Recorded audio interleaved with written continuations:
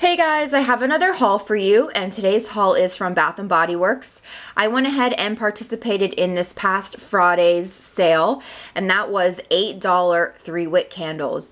Now I did post about the sale on my Facebook page and a bunch of you commented on it so if you're not following me on Facebook I do post sales along with other things so I'll leave my Facebook link down below, and if you just like the page, um, you'll get to see my updates. But anyway, so I went into the store, and I wasn't able to make it until about 5 o'clock at night, so a lot of the stuff was already gone. So I kind of decided to settle on these four. Um, I'm not the biggest fan of two of them, but I've never tried them before, so I might either give them a try or just go in and exchange for a different one because they weren't putting out any more stock. I guess like what they had out is what they had out, and then they were going to restock the next day. Um, another thing, I don't know if they're not carrying the winter candy apple. I've never seen that at my store this year, but they have it online. And the woman I asked, I, maybe she wasn't very knowledgeable, but she said that she had never seen winter candy apple in the store. So I just thought that was really weird. I guess I'll try going back next time and looking for it. But anyway, so these are the four candles I ended up getting. And like I said, the deal was that all of the three wicks were $8. So what I ended up doing was getting four, which was $32. And then they have a bunch of coupons circulating. And um, the coupon that I used was 10 off of 30. And that was just one of the coupons that I ended up getting in my last purchase.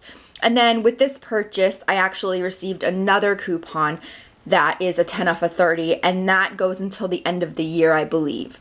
So I'm not sure if it'll reach until a semi-annual sale. I believe the semi-annual sale is going to start a week after Christmas, maybe in the end of December.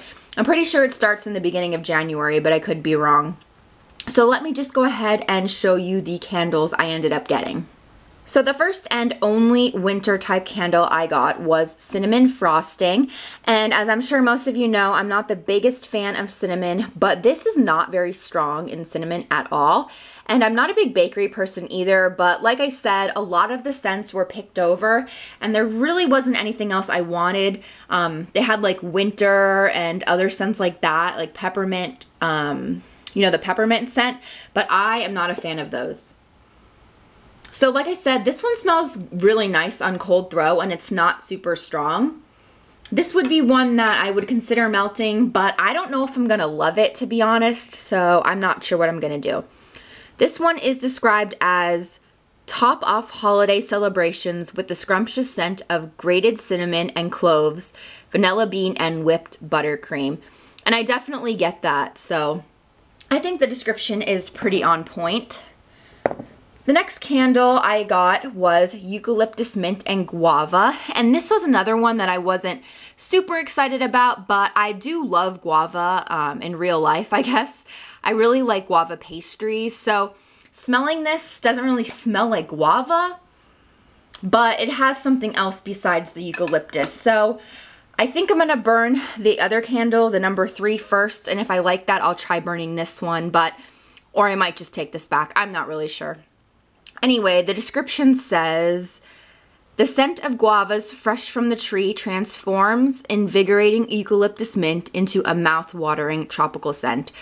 So like I said, I'm pretty much just getting eucalyptus right now, but that could change once I light it if I do.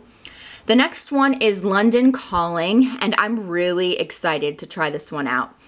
So this one has obviously a London picture and I think the top is so, so cute. I just think that puts a different touch on the regular Bath & Body Works candles. And this smells really nice. I don't really know how to describe this other than like an iced tea. This pretty much smells like Lipton iced tea to me, which I love iced tea. I drink it all the time. And the description says, a royal blend of tea, lemon, and sugar Great traditions from across the pond. So it sounds like iced tea to me. So I will definitely give that one a try. And then the last one I ended up getting was the Eucalyptus Mint and Apple. And I love apple scents.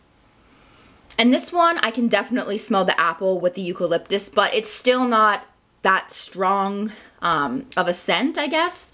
The eucalyptus definitely overpowers the apple. So the description says crisp, crunchy notes of McIntosh apples mixed with eucalyptus mint, resulting in a delightful and bright fruit fragrance. So like I said, this one's really nice. I'm really looking forward to melting the London Calling and the number three Eucalyptus Mint and Apple. I really want to go ahead and smell some of the other scents from this collection. They only had this one and um, one other one. I think they had the Tahitian one. I'm not really sure. And then they had um, the Caribbean Escape, I think. It's the one that is just repackaged. It's nothing new, and I do not like that scent. It's really basic and summery to me, and that's just not a scent that I love. There's so many other scents that I love more. So that is the end of my haul. If you want to see any specific review on any of these scents, go ahead and leave that request down below and I will make sure to make that video for you guys. So thank you so much for watching. Bye.